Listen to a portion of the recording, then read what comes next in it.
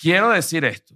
La gente em, hace la mayoría de las cosas por dinero. La gente, y, y- y lo digo, por ejemplo, un- mi papá. O sea, mi papá, él mm, era ot- ot- otro mundo, ¿no? Él comenzó a trabajar a los 13 años porque su papá se murió cuando él tenía 5, su mamá trabajaba, pero eran muchos hermanos, entonces él decidió no estudiar. Era una Venezuela en ese momento donde tú podías darte ese lujo, o sea, no, no estudiar y si querías trabajar desde los 13 años, pues, bueno, ibas a tener una vida, no, no ibas a ser, pero podías tener una vida, ¿no? Sí. Mi papá eh, empezó a trabajar en los bancos desde los 17 años Ujú. y pasó 42 años trabajando en bancos. O sea, toda su vida. Y eso se convirtió en su vida y eso se convirtió. Pero yo sé que esa no era su vocación. Ok. ¿Entiendes? Sí. Eso no era su No vocación. es lo que le hacía más feliz. ¿Quién, pero quién, qué vocación? ¿Quién tiene como vocación estar metido en un banco, entiendes? Siendo un empleado. Esa no era, solo que eh, hay- para, para tú poder seguir tu vocación, eh, que es lo que la gente no sabe, la gente cree que eso es como que, oye, encontré mi vocación y lo hago. No, es un proceso doloroso, porque si tu vocación es no es lo que está en la norma, como ser comediante o ser o tener un podcast o ser comunicador o, o ser modelo o ser actor o ser pintor, em, digamos ar- artista, por, por decirlo de alguna manera. Los artistas dirán, no, los comediantes no son artistas. Bueno, no importa, Sí, pero estoy, exacto. Em, tú descubres eso en algún momento de tu vida, no sé en qué momento, pero tú lo sabes. Cuando tienes siete años, la gente, los deportistas lo descubren joven. Sí. ¿Por qué? Porque el deporte, el auge del deporte es cuando estás joven. Entonces, claro, lo descubre de niño. Mira, tú vas a hacer esto, ¿te gusta? Sí, me gusta. Bueno, vas a seguir, vas ganando. Ya tú lo sabes desde niño. Los cantantes, bueno, por lo general, un poquito más tarde, pero ya lo saben. Sí. Los comediantes, más tarde, más tarde, ya en la universidad. Porque tú no sabes ni siquiera, como comediante, sea, como persona, que tú realmente puedes vivir de eso. Ujú. O sea, ¿entiendes? Tú dices, no, no, es una opción, no. no, no, no, no, no, no, no, existe. O sea, si, si vas a ser, bueno, o eres actor o, o, o voy a ver qué eres, o, o eres pintor, pero además vas a ser, dentro de todo eso vas a ser comediante, coño, eres un loco, no sé de qué, de qué vas a vivir, ¿no? Eh, entonces, cuando yo me di cuenta, fue un proceso doloroso dedicarme a la comedia, a pesar de que era un proceso a la vez liberador, porque es que los procesos, que eso es otra cosa que la gente tampoco entiende que yo tampoco entendía, que, que para los procesos de transformación, coño, son incómodos y duelen. Yo de más chico me gustaba la magia y aprendes algunos de los movimientos básicos y demás. Entonces yo ya veo un truco de magia en la tele y ya sé, ah, desde aquí ya la escondió, desde aquí hizo tal cosa y ya no te sorprende igual. En el caso de la comedia, o sea, el objetivo al final del día muchas veces es que la gente se ría, pero si el comediante o tu colega comediante ya conoce estas herramientas o tal, a lo mejor no le va a dar risa lo que le dices. No le da nunca. Ok. O sea, el Pero- comediante, Ajá. fíjate, el comediante se ríe de otro comediante hablando normal. es muy pocas veces que el comediante se ríe de otro comediante. Tiene que ser un chiste exquisito, tú sabes, así, para que de verdad te dé risa genuina. Que ¿Sabes? Esa risa. Ajá. Porque como uno también es comediante Ujú, y uno conoce a esa persona ujú. fuera de la tarima, que los comediantes son mucho más cómicos fuera de la tarima. Eso es una gran verdad. ¿Por qué? Porque en la tarima hay nervios, en la tarima es como, es como cuando un jugador de fútbol este, es- está mucho más tenso, obviamente, en, el- en- en un partido y la gente lo está viendo y hay mil factores a que de repente juegue, hay una canchita acá con unos amigos que ni siquiera son profesionales y, Hace y la magia. hace magia porque, porque está tranquilo, que eso es otra cosa que, que el, comediante necesita y que, que es algo que la gente no entiende, que es que el comediante necesita mucho, mucho, mucho, mucho tiempo pensando. Y el tiempo pensando físicamente no se refleja, sino tú estás solo pensado así, sentado, estás pensando. Y la gente cree que tú no estás haciendo nada. Y es como que no es que no estoy haciendo nada, sino que en mi cabeza me estoy imaginando cómo decirlo, cómo hacerlo, cómo... ta- Por eso hay que buscarse novias que entiendan eso, porque si no te dicen, ah, ahorita que no estás haciendo nada, ayúdame con esto. Ok. ¿Entiendes? Sí, sí, sí. Este, entonces el comediante, parte del trabajo del comediante es eh, estar simplemente eh, pensando. Y mm, es, es un trabajo largo, también muchas veces es un trabajo doloroso, pero cuando tú le metes mucha cabeza a algo y no te da resultado, y es tu misma cabeza, porque cuando yo te digo, por favor, dame este resultado y no me lo das, yo digo, ay, por favor, pero cuando eres tú mismo que no das el resultado, tú te dices, ay, por favor a ti. Dice, pero bueno, si vamos a triunfar el día del recontracoño la madre, está más bruto, ¿qué pasa? Entonces uno, ¿entiendes? Eh, eh, todos son procesos y todos los procesos, por muy bonitos que sean, incluso hasta el proceso creativo, tiene una parte dolorosa, Ujú, una parte incómoda, ujú. porque es un proceso.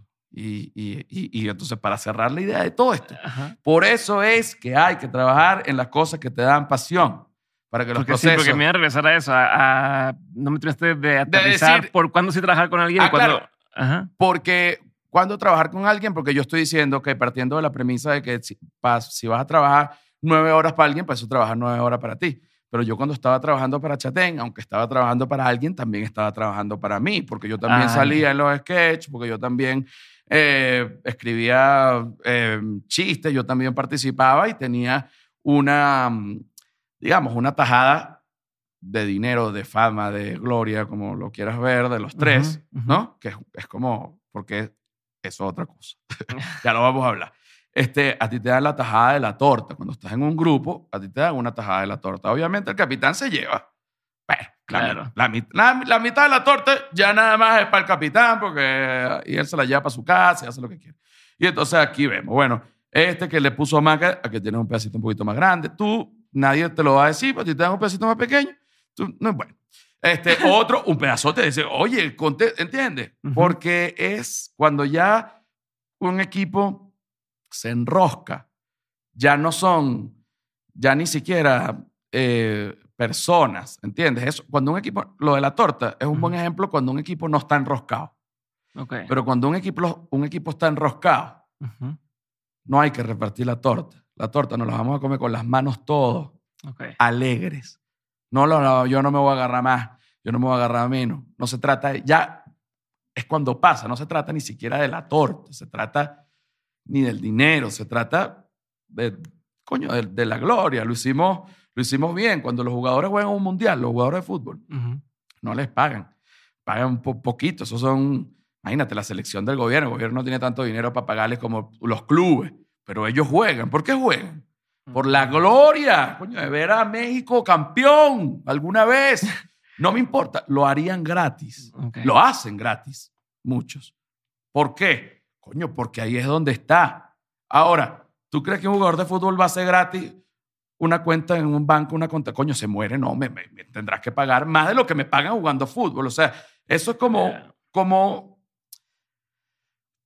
uno tiene que hacer la gente, y esto quiero que se lo lleven en la cabeza, que yo me lo digo para a mí todos los días, la gente tiene que hacer lo que tiene que hacer. No le tiene que rendir cuentas a nadie. La gente sabe lo que tiene que hacer. Ahora que tú mismo te engañes, bueno, allá tú. La gente sabe lo que tiene que hacer y eso es lo que hay que hacer. No importa. Para allá es para donde hay que ir. Porque si yo hago los proyectos solo por dinero, cuando esté viejo voy a estar triste. Voy a tener dinero, si es que, si es que, Ajá. pero voy a estar triste. ¿Cuándo te diste cuenta que lo que tenías que hacer era esto? Porque sé que estabas en odontología, antes estabas en otra cosa. ¿Cuándo dijiste comedia e incluso has ido evolucionando sobre la marcha? ¿no? Ha habido muchos cambios, eh, especialmente con el tema de los, de los documentales. Eh, ahora que estuviste en la cárcel también como que moriste, una parte de ti murió ahí, una especie de reinvención. Entonces, pero ¿dónde fueron las primeras veces que dijiste, ya sé lo que tengo que hacer? ¿Dónde estabas y qué era? Eh, estaba, qué bueno que me lo pregunta. Este, yo iba a ser cirujano bucal. Ujú. Entonces presenté en una universidad en Sevilla, eh, que se presentaba en el consulado de España, la, la- la prueba. Y Ujú. entonces eran tres pruebas. Una primero como teórica, Luego venía, si pasabas la teórica, venía una entrevista y luego hacías una prueba práctica. Ujú. Yo pasé la teórica y me llamaron a la, a la entrevista. Obviamente tenía que ir a Sevilla, porque imagínate. Ujú. Pero la fecha, la misma fecha que, que era la, la- el posgrado, o sea, que tenía que ir a Sevilla a presentar el examen, por casualidad de la vida fue la misma fecha que le pusieron a la que pudiese ser mi primera función en el extranjero en Miami. Mm. Entonces yo dije, ok, la vida me lo puso así, pues. O sea, porque yo andaba que sí quería ser odontólogo, pero también hacía para acá, pero dejaba unos días en- con la odontología, porque es difícil decirle a no solo a tu familia, más a uno mismo, después de Sí, haber estudiado seis esto, años, ajá. estudié todo esto, le dije a todo el mundo que iba a hacer, este, porque yo, yo, yo le doy mucho peso a la palabra y también lo que uno dice, yo trato de, de respetarlo. O sea, si ya dije esto, dije esto. Yo voy a ser odontólogo, voy a ser cirujano. Y me duele este, a veces romper la palabra, pero luego de terapia es y que no es que estás rompiendo la palabra, es que sencillamente tienes que bu- buscar otro camino. O sea, no es algo negativo. Al Ujú. contrario, es positivo. Eso, así es como uno lo, Ok. lo tiene que ver para que, para que sea más fácil. No es como que yo dije que iba a hacer esto y al final no fui odontólogo. Es como que, bueno, perfecto. Ok. No está mal, está bien, ¿no? Solo que es ese proceso que como duele, uno se confunde un poco. Ujú. Y bueno, decidí, este, Se juntaban las fechas y... y- se juntaron las fechas, decidí que me iba a ir a Miami y hablé con mi papá, que a pesar de que ya estaba graduado y todo, sentía que le tenía que explicar a alguien porque si no iban a pensar que este, estaba, o sea, que, que estaba loco. Le dije, mire papá, yo no voy a ir a, este, a, a Sevilla a hacer el posgrado. Ah, ¿qué pasó? ¿Qué pensaste? ¿Lo vas a hacer acá en Venezuela o qué? No, no voy a hacer ningún posgrado, me voy a dedicar a la comedia. Me dijo, bueno, o sea, ¿qué estamos hablando? Lanzó un sartén, o sea, pegó unos gritos, bueno. Hasta que al final le dije, mira, después de mucho y no con esta seguridad de ahora, ¿no? Ajá. Ah, Te lo estoy contando ahorita aquí contigo y no con mi papá. Bueno, mi papá se sirvió, dentro de todo eso, eso fue un lío que duró como 40 minutos. Ujú. Dentro de esos 40 minutos, él- mi papá jamás me pegó, jamás. Yo nunca lo vi con una demostración de em, violencia física, que de repente, que de repente hay alguien que le da una patada a una puerta, Ajá, así no sí, te sí, sí, pegue. que rompe algo. Que rompe algo. No, jamás. Jamás. Bueno, esta oportunidad mi papá lanzó un sartén. Bueno, al final de todo, la conclusión fue esta. Le dije, oye, este, tú saliste de ser muy pobre y tú hiciste el camino que tú quisiste. Nadie te dijo que hicieras otro camino, que no hicieras otro camino y tú te metiste en el camino de los bancos y, y lo terminaste. Y me, y me- y me parece increíble, pues yo, yo quiero un, otro tipo de, de- de- de camino, como que un camino que sea mucho más grande. Y no estoy despreciando a la gente que trabaja en bancos, por favor, mi papá trabaja en bancos, pero quiero que, yo no lo sabía decir, pero en realidad yo, yo quería el calor de las masas. Yo decía, yo siento, yo le decía a mi papá, coño, déjame intentarlo. O sea, yo igual lo voy a intentar, así tú no quieres. Pero dame, Dame tu, la bendición. ¿no? Coño, dame tu bendición, porque yo siento, algo me lo dice, yo siento que yo voy a poder. O sea, yo creo que yo voy a poder. Yo, ¿Ya ha pasado lo de Luis TNI? O sea, ya estado en el programa, ya tenías cierta no, audiencia. no, Nada. Ok. no, por favor. O sea, fue una apuesta de. No, fue una cero. apuesta de fe, como todas las apuestas de fe. O sea, ¿Cómo conseguiste esa fecha entonces? O sea, ¿cómo.? Bueno, porque, porque ya yo venía de hacer stand-up en, en bares Ok. y se creó como una pequeña fama eh, del circuito de bares. ¿Sabes que los circuitos de bares terminan teniendo una fama y eres una estrella como del bar? Sí, eh, Ajá. afuera de ahí no te conoce tanta gente, pero, tú Pero- te sientes así el. Tú eran los, los lunes eh, que, que se hacía el stand-up. Los lunes, ahora, nadie me conocía, pero yo iba para ese bar. Todo el Rockstar. mundo, rockstar, vamos, te has presentado hoy. No, solo vine a ver cómo estás, ¿sabes? Es muy pequeño, Te pero dices, regalaban de tomarte, así. todo. toma un trago, siéntate aquí, José, habla conmigo, aquí, y todo, no solo yo, o sea, este, era como, como, como nuestro bar, ese bar ahorita ya no existe, ya cerró todo, este, pero, pero era, o sea, yo decía, lo, lo que hay que hacer es hacer esto más grande, o sea, esto, esto, si ya yo hago reír, ah, me acuerdo que el bar era como, no sé, cua- 40 personas, algo así, era pequeñito. Sí. decía, si yo hago reír 40 personas, ¿cómo no voy a hacer reír, supongamos, a 60? Es lo mismo, solo que más grande. O sea, después yo decía, después subí un poquito más, porque entonces abrieron otras salas del bar, entonces ya eran como 60. Es, ¿Ves? Un poquito más grande. Lo que hay que hacer es hacer esto cada vez más grande. Entonces se creó un grupo que querían hacer una, que esto fue otra, otra anécdota buena venezolana.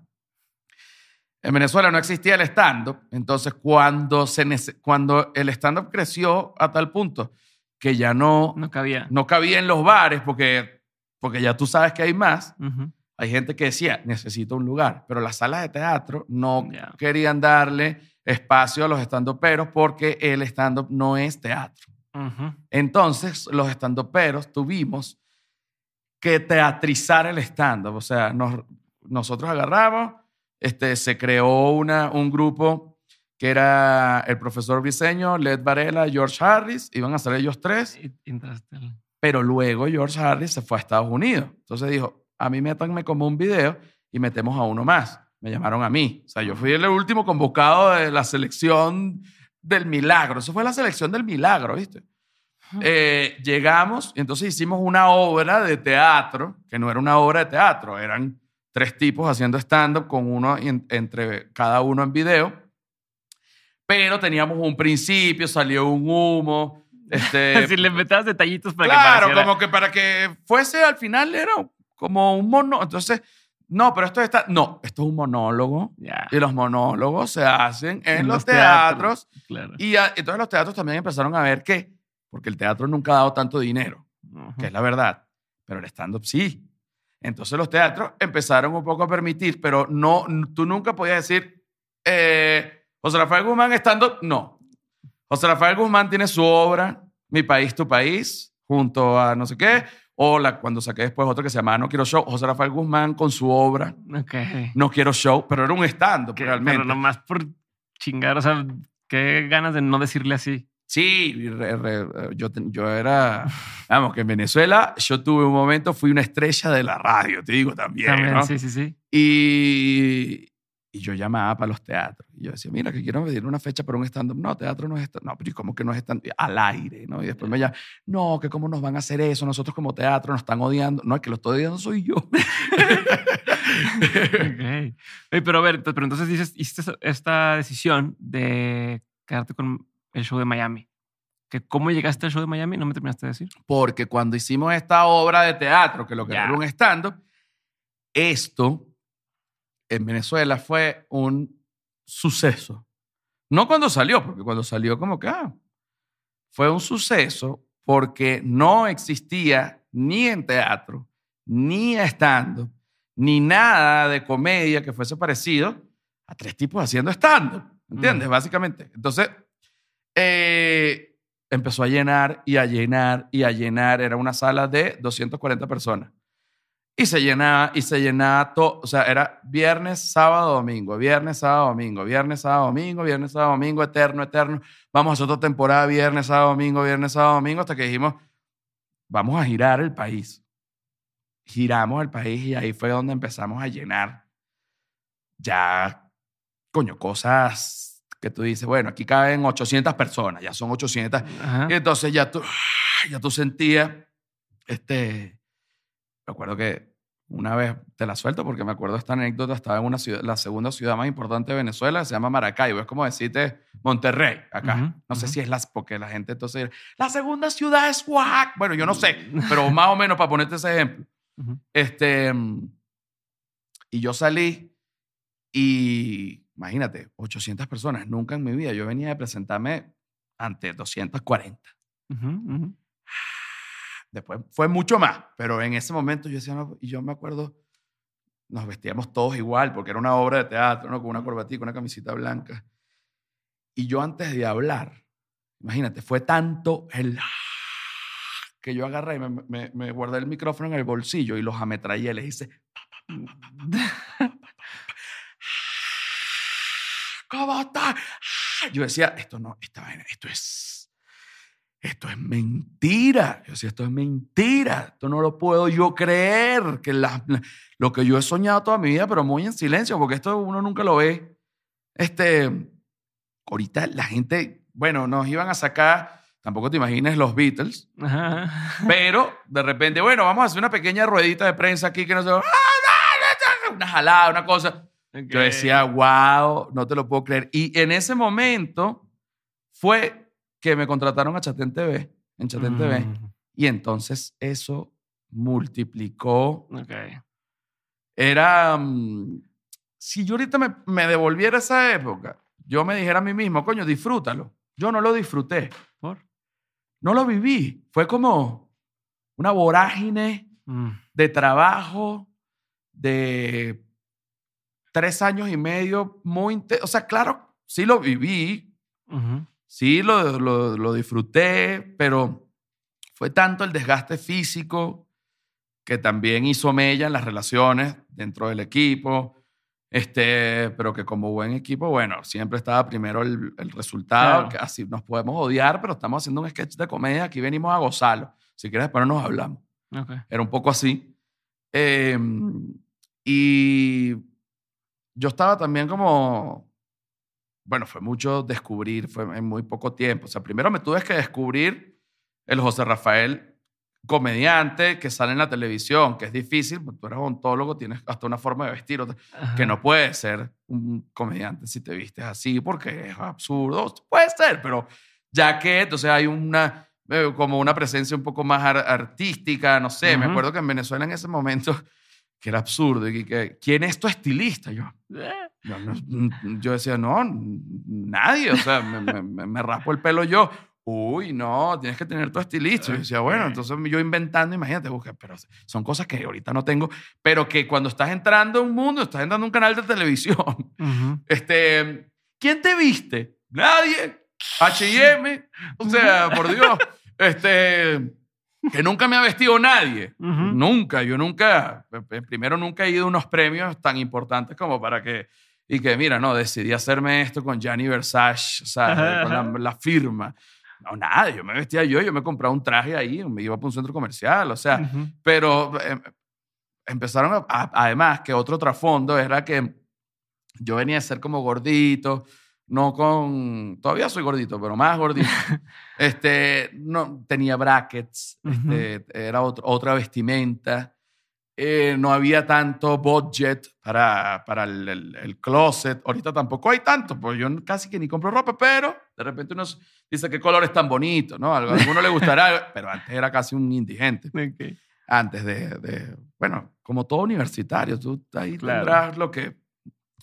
Y, mm, y, y- y- y, bueno, sí tenía como, no un trauma, porque realmente tampoco es que era un trauma, pero bueno, sí tenía muy presente que quería coger más. Es que justo eso que estás mencionando ahorita y que te apasiona tanto, te iba a preguntar, eres una persona muy sensible, ¿no? Y lo has demostrado en, en muchos momentos. ¿Cómo te afecta el, el que alguien critique tu trabajo? Porque al fin de cuentas, uno puede ser sensible, hacer las cosas y que no tengas ese feedback, a en tu caso, que eres una figura pública y lo haces abiertamente, recibir comentarios eh, o crítica o que no haya respuesta. ¿Cómo te afecta eso? Por un lado y por otro lado, hablas de temas muy sensibles para ti, como si fueran, como si fueran chistes, ¿no? Este, donde has hablado cosas de la muerte de tu madre, de la galleta Oreo, este... eh, Abuso, o sea, lo que- to- to- todo ese tipo de cosas las cuentas ya a la hora de en tu podcast o en conversaciones, pues pareciera como si no te afectara, pero ya no sé. Entonces, ¿cómo, cómo es esa dualidad entre lo sensible que eres y a la vez tu carrera y... y Porque al final, eh, porque es la verdad. O sea, es que la verdad, vamos a partir de esto. La verdad es la verdad. Y el que no quiere aceptar eso, coño, tiene un problema. ¿no? Entonces, la gente me dice, tú no puedes contar eso con él. No, yo puedo contar lo que se me dé la puta gana, porque es mi vida. ¿no? Por eso es que a mí me gusta vivir tanto, para que nadie me pueda decir. Porque nadie me puede decir, ah, porque tú hablas, pero tú eres un, bran- un blanco privilegiado. Tú no puedes, no, sí, soy un blanco privilegiado, pero me voy a la miseria a grabar donde tú en tu puta vida vas. Y, y, y, y, y, y, y solo lees Twitter. Entonces anda a mamarte cuatro pares de picos. Ese es mi, mi, mi, mi punto. Por eso es que es importante vivir las cosas de adentro para que nadie te pueda decir, ah, porque es muy sabroso, porque tú no lo vives. El que critica tampoco lo vive. Pero es muy sabroso para el que lee decir, ay, este tiene razón. Porque este que lee, que está de tercero, ya, este sí es un eh, artista y que tiene billetes, millonario. Los artistas son millonarios, los artistas son millonarios. No, bueno, de bola, Leonardo DiCaprio y Brad Pitt, pero, pero a ver. Y este que está diciendo, de, cuando este carajo que me está criticando es un degenerado que está en su casa, que no ha hecho nada por la vida, ni ha hecho nada por nadie, nunca, jamás en la vida, nunca.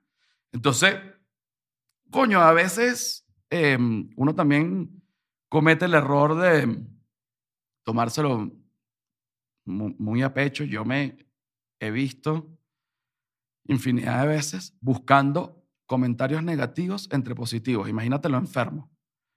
Te amo, y yo solo estoy buscando los negativos. De repente, eres un cabrón. Así. Entonces, ahí me di cuenta, dije, coño, en vez de estar respondiendo el amor, estoy obviando el amor para buscar lo- los negativos. No, es al revés. ¿Por qué? Porque otra cosa que así funciona el humano y la gente no lo entiende.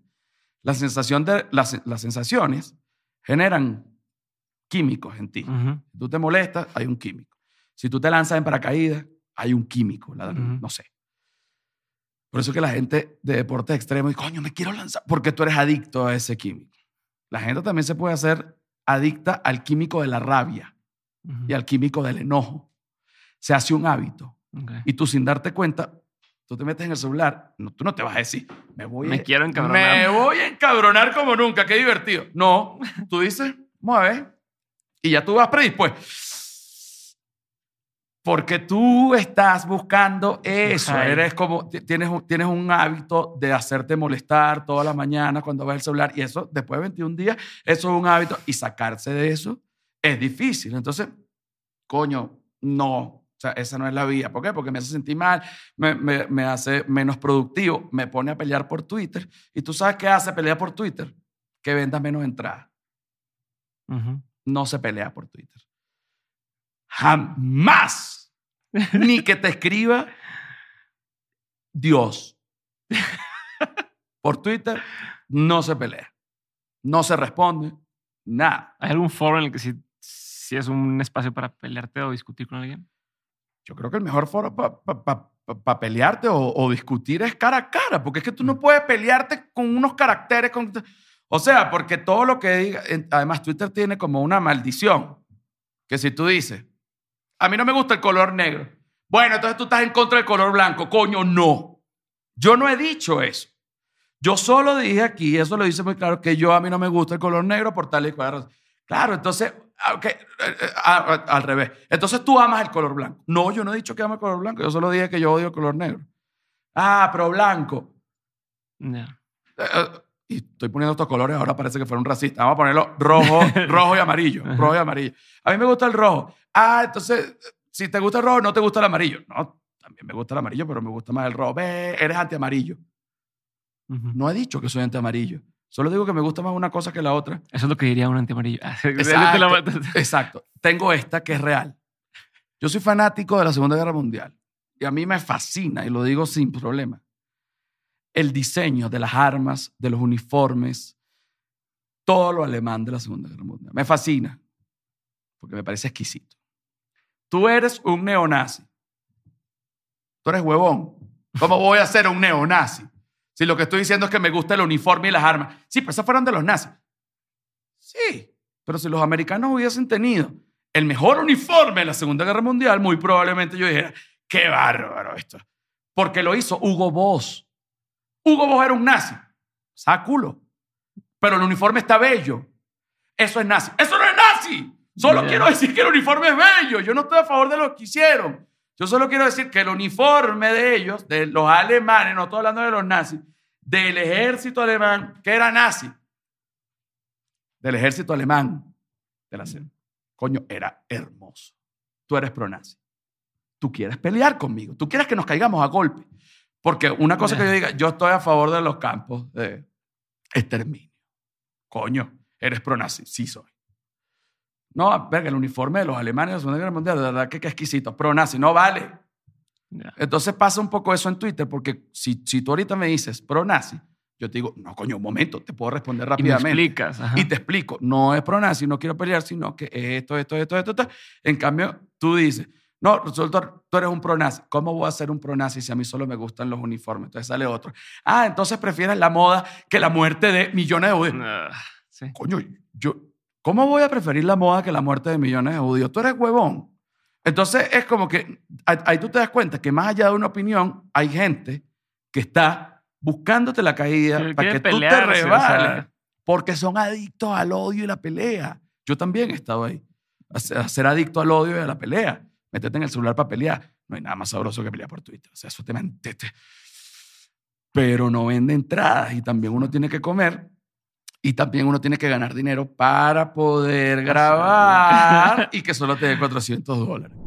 Primera pregunta, ¿cuál ha sido uno de los peores consejos que te han dado? Eh, cuando me fui a grabar Caminantes, que para la gente que, que no me conoce, yo grabé por la dictadura en Venezuela, se creó una crisis migratoria, la crisis migratoria más grande del continente, en la historia del continente, que es gente yéndose a pie, pues no, no- no tienen recursos, de Venezuela hacia Cúcuta, Quito, eh, Buenos Aires, o sea, diferentes capitales, también pueblos, pero a pie, ¿no? Y yo decidí irme con, bueno, con esta gente, porque notaba que, que- los reporteros o, los que fuesen a, como a cubrir este, este suceso, llegaban en una camioneta, entrevistaban, hacían llorar a la gente. Bueno, ¿qué? ¿qué sientes tú cuando estás aquí caminando sin zapatos Sí. y dejando a tu familia allá en Venezuela? ¿Qué sientes tú? La gente se ponía a llorar, pues, obviamente, y después agarran y se van. Yo dije, esto es una falta de respeto, chicos. Ujú. Entonces yo dije, yo voy a hacer esto, pero lo voy a caminar con ellos, ¿no? Y mm, bueno, eh, cuando antes de empezar, lo fui a caminar y le dije, bueno, a una persona que, que como que había uno de estos reporteros que solo había ido en camioneta. No, eso es un camino muy cansón, ahí no te lleves suéteres ni nada. Eso es con una franelita bien, con, con una playera bien, porque... Y después tuvimos una reunión con ACNUR y unas autoridades y me dijeron que, mira, no, eh, hay una parte donde no puedes, de las 5 en adelante de la tarde, como hasta las 10 de la mañana, no puedes estar ahí porque te vas a morir de frío. Ahí es donde la gente se muere. Entonces yo dije, este pelotudo que me dijo que no me llevara nada para abrigarme, me hubiese podido morir acá, ¿no? Eh, y, y, mm, no voy a decir quién es para que no se sienta mal, pero sí creo que era un consejo de mierda. Y hasta hoy día yo pienso que lo pudo haber hecho a propósito. De plano. Sí, no para que me muriera, pero para que la pasara mal. Entonces dije, bueno, qué consejo de mierda. Y fíjate que me lo preguntaste y, y lo recordé. También he tenido otros consejos de mierda, como de mi papá, y que no dejes la odontología. Un consejo de mierda, pero no tan de mierda como para arriesgar la vida. Claro. No, obviamente. ¿Cuál ha sido uno de los mejores consejos que te han dado? Coño, esto me lo dio un amigo y siempre lo tengo como presente, aunque nunca lo he hablado. Eh, me dijo, parte de tu encanto es tu locura. Entonces, cuando hagas un proyecto, abre ese switch, o sea, métele la locura a todo lo que te da, o sea, llévalo más allá. Y eso me ha traído cosas buenas y cosas malas pero más cosas buenas que malas, o sea, porque eso me ha hecho mucho más auténtico y, y yo creo que ese amigo ni siquiera sabe lo importante que fue ese consejo en su momento, pero es algo que, a- que, que, que atesoro, pues, eh, hoy día.